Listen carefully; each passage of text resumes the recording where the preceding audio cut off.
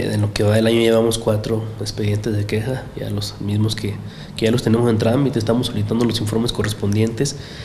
Eh, y pues bueno, el año pasado cerramos con alrededor de 74 este, de, eh, quejas en, en, esta visitoría regional. Sí, sí creció casi el 50% en relación al año 2014. Entonces, pues este, este año 2016 iniciamos ya inmediatamente con cuatro expedientes de quejas. Todas son de esta región, la mayoría de partes, la mayor parte son de aquí de Fresnillo. Sí, hemos registrado, el año pasado se registraron eh, alrededor de cuatro o cinco quejas del distrito de, de, Valparaíso, este, del municipio de Valparaíso. Eh, si mal no recuerdo, una de Zainalto. Eh, y creo que está ahí. Todas las demás son de aquí de, del municipio de Fresnillo. Toda, todas nuestros expedientes de queja, todas las denuncias que se recaban aquí, en, eh, bueno, en una comisión de derechos humanos, todas son en contra de, de, de autoridades, instituciones públicas. Eh, el año pasado, la, la, Secretaría de Educación del Estado fue la autoridad que más se denunció.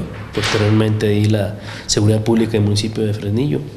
Eh, y, y, este año igual ya se recabó uno en contra de Seguridad Pública de Fresnillo, en contra de la Secretaría de, de Educación, tenemos uno en contra de, de, de, Tránsito del Estado y, si mal no recuerdo, otro en contra de Policía Penitenciaria del, del establecimiento de aquí de Fresnillo. La invitación es, ese, eh, es que tengan la cultura de la denuncia, eh, que únicamente haciendo valer nuestros derechos eh, podemos este, eh, implementar esa cultura tanto en servicios públicos como, como, en gobernados.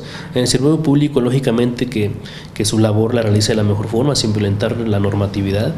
Y en la ciudadanía, pues que se pierde ese temor a, a denunciar y a reclamar lo que, lo que le corresponde por ley. En la Comisión de Derechos Humanos los servicios son totalmente gratuitos. ¿sí? No se cobra eh, nada ni se aceptan dádivas. Dirección Analco 33, zona Centro Fresnillo. Teléfono 93 274 84. Con imágenes de Marlene Hernández, informa para B15 Noticias Ernesto Vázquez.